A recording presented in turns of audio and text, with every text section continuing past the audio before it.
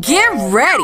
You're tuned in to Tea Time Unfiltered with your girl, Lovely Tea, bringing you the hottest trending topics on social media. Stay connected. Instagram.com slash Lovely T 2002. Hey, you guys, welcome to another episode of Tea Time Unfiltered with your girl, Lovely T. Hey, you guys, happy Sunday. Hope you guys are doing good today. So I wanted to come on here because I know it's been a while since I podcasted. Um, as most of you guys should know by now, I was hospitalized for about a week um, last week, and I got out earlier this week. So I have just been trying to get better and heal. I've been doing a lot of damn sleeping. So sorry I haven't really been posting. I did a live stream Friday, which was just really nice to, you know, get back in the stream of things. But since then, I just like really been chilling and just trying to relax. So I want to come on here and talk about the whole Jerry Harris situation. So as you guys know, like this case is like tripping me out because I remember about I don't know maybe like six, seven, eight, nine months ago or some shit. Um, I was talking about the show Cheer on Netflix, and I loved it you guys know I love shows like that. I love watching dance competitions, cheer competitions. I'm a big fan of Bring It On. Um, you know, I love sports. Like I tell you guys, sometimes, like when you have illnesses that limit you like physically you know to be able to do certain things you kind of live vicariously through those who can do it. So i always enjoy stuff like that because it just reminds me of like you know how amazing the human body is you know i'm saying? When you're like fully healthy and you can do flips and tricks and get thrown in the air and i just i love it. So one of the guys on the show that just like captured my heart was jerry harris. Him ladarius Gabi i mean it was like quite a few of the kids. They had very interesting backstories. I also love the coach Monica. Like Monica put her all into these kids. I mean, it was like a family. Like she spent more time with them than even her own family. So I really respected the fact that, you know, she put her all into this cheer program. that was good. I instantly smile when I hear his laugh. I mean, he's so fun to watch. So I didn't really keep up with the show after I watched this series. I was, you know, they're all way younger than me. I'm not really interested in what a bunch of 18, 19, 20 something year olds are up to. But from researching everything, he he got really popular off that show. I mean, he was on a media blitz. He was on all types of TV shows and everything else. But we'll get back to that in a minute, right? So, um, we had posted the story right before I went to the hospital about these two twins coming out, and basically the twins and their mother were suing Jerry, you know, sexual harassment. And so I was like, okay, this is odd. You know, Jerry, the one with the huge smile, he's been through so much. His mother, you know, died of cancer, and she literally gave her last to make sure her son was able to, you know, get into the cheer competition and get into the cheer scene. Like, she put a lot into her child, you know, so. I was just like, that doesn't sound right. So then, you know, I started investigating and then I found the USA Today interview with the two twin boys. They're identical twins and they're both cheerleaders and they were talking and telling their story along with their mother on how Jerry was sexually harassing them. So I want you guys to go ahead and check this out, and I'm gonna come back with the rest of the podcast. Different person from when you actually know him. Yes, he might be charming and funny and lovable, and also be engaging in sexual activity with children.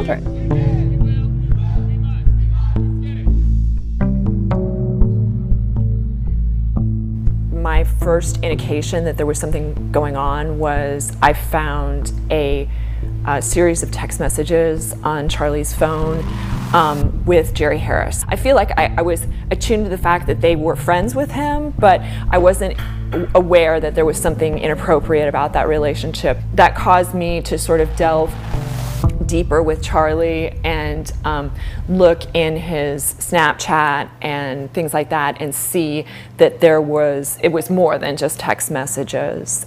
Jerry would send me photos and videos of himself send me obviously nude pictures of himself and like saying all of the things that like he like wants to like do to me and stuff like that. If I didn't like comply with or do it, he'd be like, "Oh." All right, so you guys just heard everything that the twins and their mother had to say.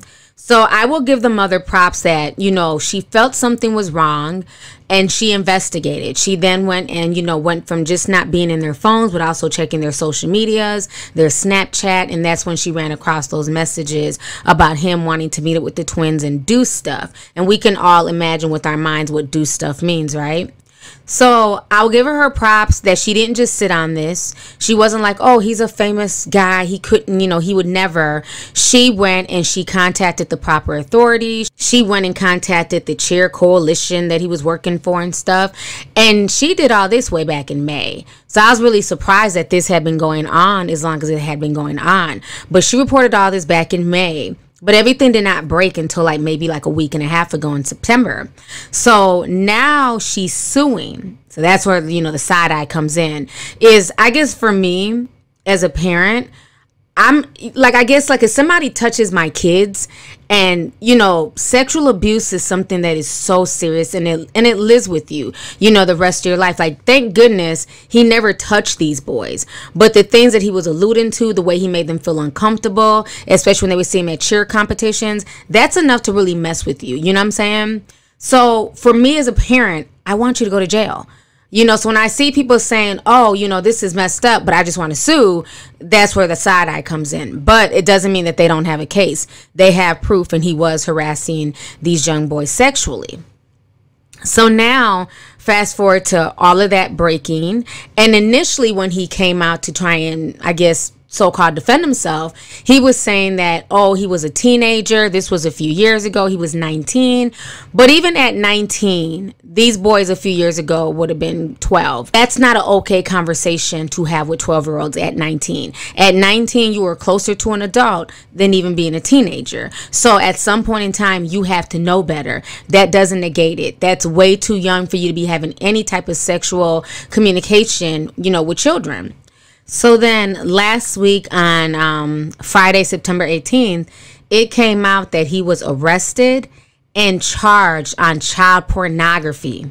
And he admitted to targeting multiple children. So remember, a few days ago, he was denying it, saying he was a teenager. He didn't know what these folks were talking about. But then the FBI got involved. And so this is what they're saying. They're saying, according to reports, Jeremiah Harris, 21, has been arrested and charged with producing child pornography after admitting to targeting at least 15 underage boys. The investigation was triggered after a mother reported finding text messages changes on her son's cell phone. Some of the victims were as young as 13 years old. We begin tonight with that breaking news. By now, you've probably heard about the arrest of Jerry Harris, one of the stars of the Netflix series Cheer, the Naperville resident accused of luring two boys to send him sexual pictures. Late this afternoon, we learned Harris admitted to doing the same thing to as many as 15 other children, and the allegations don't end there. CBS 2's Jeremy Ross was in federal court today as prosecutors unraveled a disturbing pattern that went on for more than a year. He joins us now live. Jeremy. Brad and Erica, Netflix releasing a statement only moments ago saying that they are shocked by the news. Harris was in a federal courtroom earlier today taking a listen, reviewing the allegations firsthand, prosecutors say that one of the triggers for today's events, a mother seeing a message exchange on her son's phone. From text messages to Snapchat posts, a federal affidavit details multiple criminal conversations and illegal sex acts with children. A 27 page criminal complaint details the accusations against 21 year old Jeremiah Harris, the rising star better known as Jerry Harris, from Netflix show Cheer. The docu-series details competitive cheerleading, and it is in that atmosphere that Harris is accused of forming relationships with younger male cheerleaders, then exploiting them for child porn pictures and videos, in some cases, sex. The victims listed as young as 13 years old. Investigators say the crimes date back to December of 2018 through March of this year, with initial contacts with victims taking place at cheer competitions and camps. Court documents showing a text exchange where prosecutors say Harris messages a boy, learns he's 13, and asks for pics, including booty pics. In another, prosecutors showed a young boy doing a cheerleading position known as the needle. They say a Snapchat account using Harris's name asked the child to do it naked and take a video and show me. Investigators saying in some cases the 21 year old paid his victims, in one case, up to $3,000. Harris admitting in court documents he engaged in some of the messaging, including on Snapchat, from his Naperville home. That's the scene where neighbors described more than a half dozen vehicles Monday, including the 21 year old's red Jeep.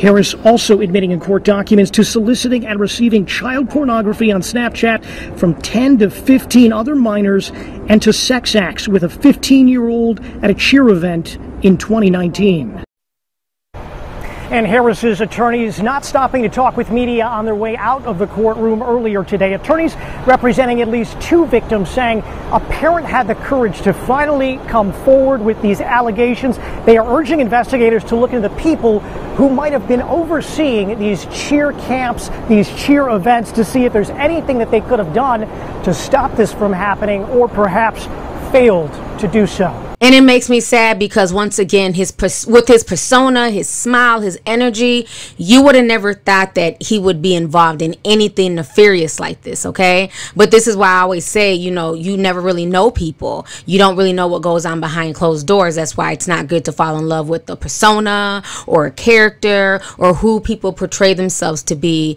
especially on social media or in the celebrity world, right? So now um, he has been officially charged. I want to play you guys one more video. I want you guys to check this out. Um, this was after he was charged. The breakout star of the hit Netflix series Cheer was arrested today on child pornography charges. Jerry Harris is the high energy personality on the wildly popular cheerleading docu-series. Now, the U.S. Attorney in Chicago is accusing him of soliciting pornographic images and oh. videos from 14 year old twins. Their mother, Kristen, who asked that her last name not be used, says her boys met Jerry Harris at a cheerleading competition. My first indication that there was something going on was I found a, a series of text messages on Charlie's phone um, with Jerry Harris. So Harris has become a media sensation. Ellen DeGeneres hired him to cover this year's Oscar red carpet. Hoda Kotb and Jenna Bush went nuts when he visited the Today Show set. And in June, yes, long before the investigation was disclosed, he interviewed Joe Biden. I'm so happy I get to talk with you. Now, Harris finds himself under arrest, facing some very serious charges. All right, so you guys just watched that um, Inside Edition piece. Now, what I find very interesting is this. Now, back on my Instagram page, right before I went to the hospital, we were talking about the Jerry situation. What he's done is disgusting. I don't agree with it. He should be charged and prosecuted to the fullest extent of the law. But I find it very funny that, you know, his case popped up so quickly. Um, the FBI got involved and, you know, they're going after him hard as hell. And compared to a lot of names that we've been seeing over the past few months, He's a Z-lister. So he's a young man who got famous from a cheer documentary on Netflix. But yet and still you have these huge A-list celebrities who have been accused of literally the same thing and it's crickets. And I find that very, very telling and very, very interesting. What's up? Hey, Tea Sippers. To listen to the rest of this podcast, please go to Apple Podcasts, Spotify, Google Play, Stitcher, TuneIn, or AnchorFM.com, which is a free podcasting site. Thank you guys so much for the support and stay tuned for the next video.